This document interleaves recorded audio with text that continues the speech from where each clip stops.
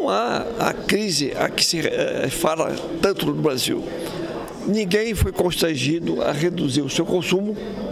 Eu reduzo o meu pessoalmente, que sempre fiz.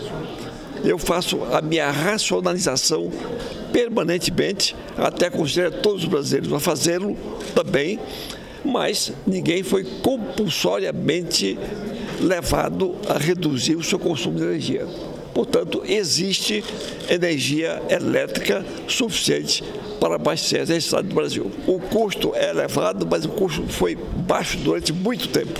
O que está havendo no momento é um rearranjo, uma rearrumação dos preços que há muito tempo não se elevavam. Acumulou-se uma crise é, da, da, venda de energia com as empresas quebradas, climática, com um baixíssimo índice pluviométrico, três anos seguidos praticamente, né, com os baixos níveis da, de contenção de água nas barragens e vivendo hoje a situação de bandeira vermelha, né?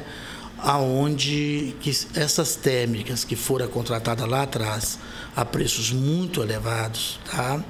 sendo acionadas, a energia fica praticamente impraticável, é o pagar o preço que é requerido, que é cobrado. Então, nesse sentido, para sair desta crise, precisamos pensar novas alternativas. Precisamos repensar a matriz energética nacional.